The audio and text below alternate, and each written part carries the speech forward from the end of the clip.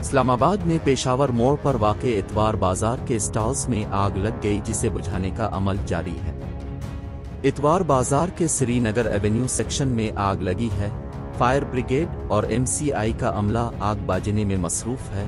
आग ने कपड़ों की दुकानों को लपेट में ले लिया रेस्क्यू हुक्काम का कहना है कि फायर ब्रिगेड की दस गाड़ियाँ आग बाजने में मसरूफ हैं।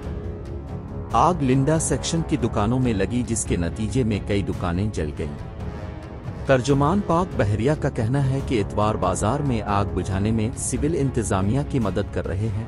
पाक बहरिया की टीम और दो फायर टेंडर्स आग बुझाने में मसरूफ है। इस हवाले से वफाकी वज़ीर दाखिला राना सनाउल्लाह का कहना है कि इस्लामाबाद इतवार बाज़ार में लगने वाली आग का नोटिस लेते हुए डीसी इस्लामाबाद को खुद मौका पर रेस्क्यू ऑपरेशन को मॉनिटर करने की हिदायत कर दी है।